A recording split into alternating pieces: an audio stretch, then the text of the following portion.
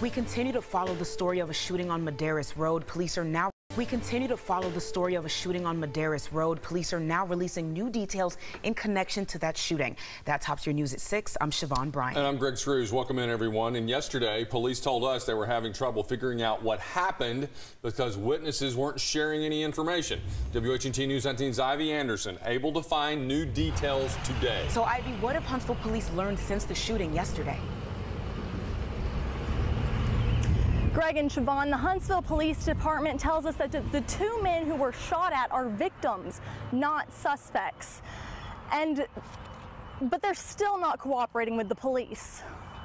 As investigators uh, started coming through everything that they had, they realized that uh, the two victims involved were not going to be of much help.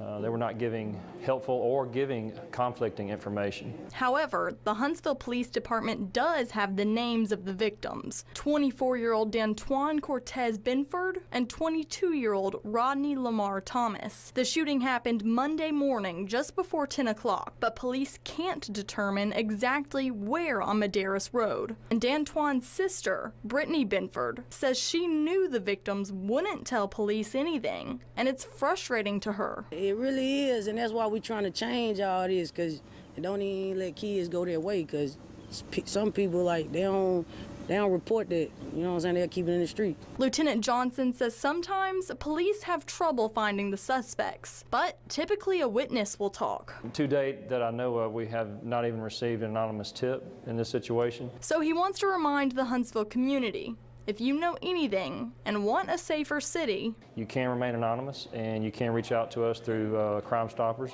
Uh, or you can just make a phone call to us and withhold your name. And even though the victims aren't giving information, Johnson says they're not worried and they've got time on their side. Over time, our investigators are very skilled at finding uh, certain ways to put, um, put these offenders behind bars. Huntsville's police department says this investigation is far from over, but they're going to find the shooter. If you have any more information, they say to contact the Huntsville Police Department. Live in Huntsville, Ivy Anderson, WHNT News 19.